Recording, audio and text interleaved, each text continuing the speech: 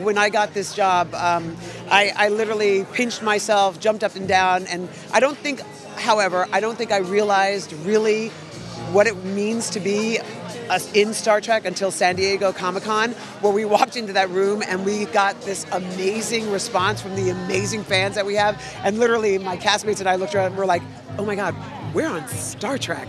I mean, really, Picard Star Trek. So yeah, it's, uh, it's beautiful. Sir Patrick is one of our most prized national treasures. Can you talk about your experience working with him and why, of all of the roles he's played, this is one that remains so beloved and so iconic? I think, uh, well, first of all, working with him is phenomenal. I mean, my very first day, I tried to be nice and cool. I'm like, "Hi, I'm Michelle," and my little my knees were like shaking so much I thought he could hear them. But he he literally put me at ease immediately. He's so kind. He's so generous. Um, he's so authentic. He's so loving. And I think those things are the reason why Picard has been so uh, in you know beloved by all of us because he is that. He is calm, calm. He is kind. He is strong. He is vulnerable. He is empathetic. Uh, he tells those stories. He's he's brave and he's uh, not afraid to be wrong. So I think that those things about Patrick are the same things about Picard, and that's why we love him. Raffi is a uh, security analyst, uh, hacking genius. She has a very strained relationship with the Federation. She had a relationship, a working relationship with Picard after Next Generation, and they had a falling out. Um, she's haunted by uh, decisions and things that have happened in her past, and that has made her rely on vices um, as crutches. But I don't want to say that she's an addict, as in she's kicking back on the side of the street, but she's. Uh, she has vices to help her get up in the day, and I really love to tell this story because I feel like there it's a very um, relatable story to us all. We all have people in our lives that we know that have demons on their shoulders and are doing things that they have to do to get through the day. And I want us to, to tell that story as in the people who are going through those, those challenges are still viable. They're not to be pushed to the side. They're still valuable people of our community and need to be uh, supported and, and uh, cared for. Honestly, I feel like this is the most vetted out, um, complex, layered female character I've ever had the opportunity to play. And you know, I've been I've been here for a minute. I've been doing things for a period of time. So this is you know, I, I literally I didn't realize that sci-fi is really the place where you get to um, really have a voice and, and, and explore the stories that other people are not exploring. You give a sound and a visual to things that are not being seen or heard. And I've always thought that that was like, oh, procedural, you know, realism. No, it's sci-fi. We're, and, and what I love about our show is that we're not preaching. It's not a preachy thing, but our, our writers and our executive producers and our actors are influenced by life, right? Life imitates art. Right now, we're all living in a very challenging time. There's a lot of discord, um, diversion, uh, uh, divisiveness, um, and um, discomfort in our in our world. Everybody, and we get to tell that in this show. Once again, we're not preaching, but it's there. You'll feel it. And what I love about it is that we are striving for a solution. We're striving for hope. We're, we're striving to, to explore the fact that life is fragile and, and valuable, and love is imperative. And I, I think you'll see that in a very subtle um, and empathetic way. This Star Trek Picard is going to actually bring you to different places in the universe than you've seen in the universe and on Earth. You're going to see um, Picard you know, what's beautiful about this is that it's been 17, 18 years since Next Generation's been off. So that time that Patrick as well as Picard has aged, the world has changed, our world as well as their world. And so we that's a that's a truth. We track that. So we are a continuation of that story. Um, so you're going to get to see more like everything that you've been wanting to see from Picard, you're going to see that and more, and unsurprising, like really surprising things. Are you nervous about um, how fans of the original series may react to the different tone of this series and some of the different subtext?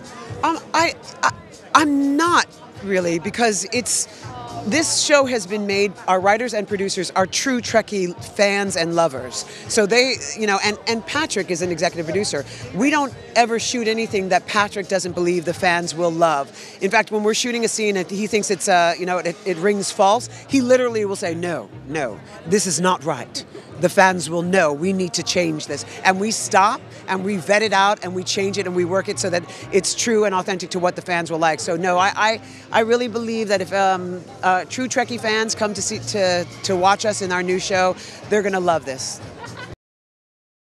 I couldn't tell anyone. Uh, my family are very, very, very big sci-fi fans, so I found myself having to keep my mouth um, pretty tight, tight-lipped. Um, yeah, it was just kind of funny because I kept saying, you know, I have an audition. I've got to really like, uh, I've got to really learn my lines and get this down pat. They, were, they kept asking me, "What's the audition? What's the audition?" And finally, when I got it, I gave them.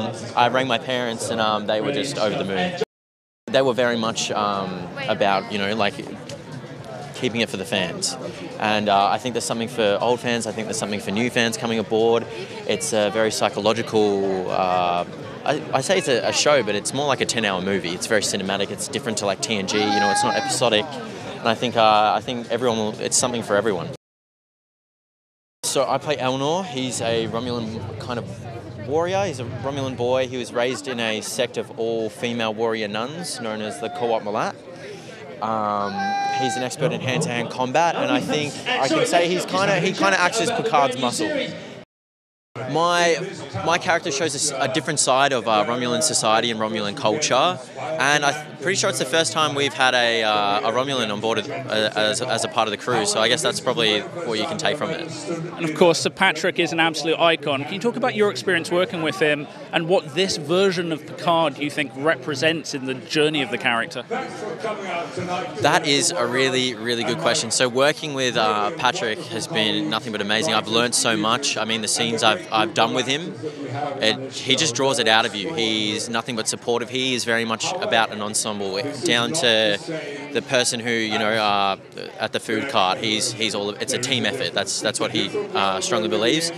I mean, and in terms of the Picard that, that you're going to see, I mean, all this time's passed. It might not be the Picard you you you remember. Yeah. You talk about what it's like to be part of this family, and particularly what it means to be part of a Trek crew. That's a really good question. I actually never thought I'd be part of a Trek crew. You know, growing up and watching the show, that's kind of something you'd always dream dream about. And then I get to work with my favorite captain. Um, it was it was kind of interesting. I feel like the more we were on set together, the, we actually became a crew. I mean, we we we've got our own WhatsApp group. We call ourselves the Motley Crew. I've met up with some of the other legacy casts, and they've been nothing but supportive and encouraging and sorry, it's so confusing. Um, yeah, they've been nothing but supportive and encouraging, and you know they they've told us you know the fans are nothing but loving, and yeah, it's just a it, Trek really is just a whole big family. It's like one big community. It's lovely. Why do you think the world in 2020 still needs Star Trek so very much, seemingly? I think we need this show more than ever. I mean, we're in what feels like very uncertain times. Um, I think there's a lot of uh, ignorance in in our world, and I think this show really shines a light on it. It also shines a light on what we could be, um, what we'd hope to achieve. It, it's it is about hope. I think there's a sense really this is a much darker uh, universe we find ourselves in. Is that true? I mean, every, everyone knows Gene Roddenberry's vision. It's always been holding a mirror to our society. So, I, I mean, the writers can't help but draw inspiration from uh, the times we live in. However, we still keep Roddenberry's vision alive. It is very much about hope, and hope is very much the, the message behind our behind our show. I mean, I, I, would describe it as kind of like darker. I mean, we do explore. You will see like a, a lot of like um, different kind of planets and environments, um, and I think a lot more of Earth than we've seen before. And do you have a message for Trek fans out there who are desperately excited to get a chance to watch these episodes themselves? All I can say is just you wait because you will be blown away. I saw the first three episodes and I I was speechless. Excited, yeah. And this is crazy. This is amazing. And what is it about sci-fi for you that allows us to explore facets of people's personalities that maybe other long-form narratives don't allow us to do? Well, I mean, you're not stuck to reality for one thing, so it gives you a lot more freedom. But I think something that Star Trek specifically has always done is it's a way to hold a mirror up to society in a maybe a little less threatening way, show us where we're screwing up and where we can improve. And uh, with regards to your character, what is it about her that you wanted to return to and, and maybe explore yourself? I love where she's become. What I loved about her, with the first time I played her, was learning to become human again. I love she's been through a lot, a lot of dark stuff in the last 20 years. I love her resilience. I love who she's become. Uh, she's really cool. Well, she's completely different. She's much more human in every way. Her clothes, her talk, her um, demeanor. Um, which was great. I mean, it was it, again that was that's a great challenge as an actor is to find a through line to make it the same person, not just the same prosthetics and the same actor playing her, but make it that character. So that was um, a fun challenge. I mean, it carries on the the fine Star Trek tradition of a hopefulness, um, but it's a much bigger scale. It's very very epic. The storytelling, the character stories that we're telling, the sets, the costumes, all of it. It's just incredibly epic in scope and very cinematic. I mean, you realise the, the, scale of it is, is, is crazy because you, you, you turn a page and or you read a tiny little stage direction and it might be three lines, but it's going to be a spaceship or it's going to be a huge planet. It's going to be, you know, they're, they're, they're creatively huge, huge endeavours, each one, which has probably taken months for people to construct and design. So um, you're just, it's, it's, uh, it's a, you know, it's childhood play to be able to be involved in stuff which is genuinely spaceships and you know um, aliens. Yeah, it's pretty great. To really play. Yeah, yeah, yeah. That's the great thing about these these writers, you know, they, they don't stop writing. I mean, it's a great thing, and as an actor, the, the, the potentially difficult thing the night before. But that, that to me means that you're getting the best of the best. You're getting someone who's not putting down a pen, you know, months before and going, that's fine. They, they're reworking it, reworking it. So, and look, every writer works in different ways. So you can get fantastic writers that put their pens down months before. But this this team were were very much invested in, in, in, in, making it as good as it could be right up until the last minute. And um, so, yeah, there was lots of scripts of every episode, and we were constantly reading them. Never felt more strongly about not doing something in my life as I did about this. Well, um, I met with the team of producers and writers face to face, and I wanted to explain because they were all very distinguished people why I wasn't going to come back and do another Star Trek series. And then they started talking, and uh, I fell under their spell, and what they were pitching to me was irresistible.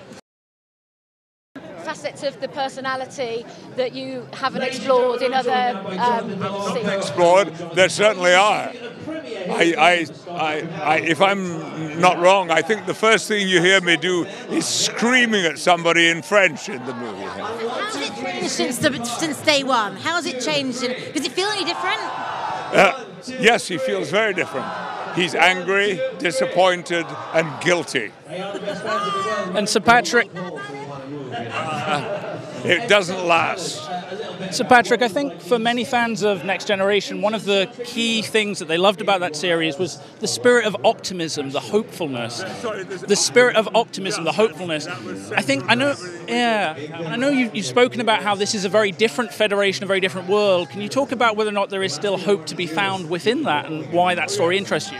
I believe there is always hope to be found, and although things seem very dark and very grim, certainly so far as Europe is concerned, um, we have to believe in a better future. We must.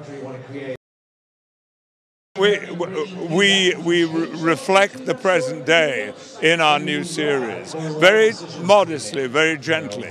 But it was one of the things that Gene Roddenberry, way, way back when I first started, 35 years ago, he always believed in.